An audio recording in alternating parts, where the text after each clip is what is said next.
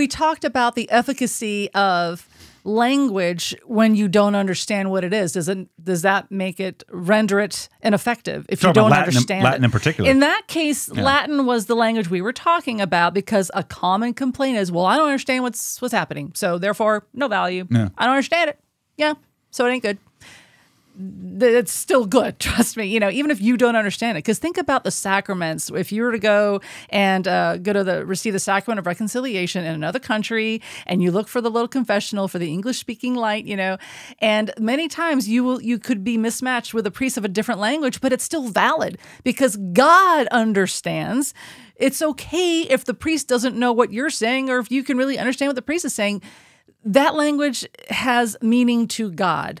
And so I think that we get kind of hung up on it has to be the words have to be according to what I like and what I prefer in order for it to be valid or efficacious. And I'm proposing the idea that maybe it doesn't work that way necessarily. I think precisely because it's a challenge, precisely because it's a greater suffering and the temptation is just to take the easier path and not, I think that's where it is more spiritually powerful because God knows wow, he's doing it and he really is struggling. And look at him go anyway. I, and it's okay. I think if it's a little empty, but you did it. You still, the, the words came out of your mouth and they ascended to heaven.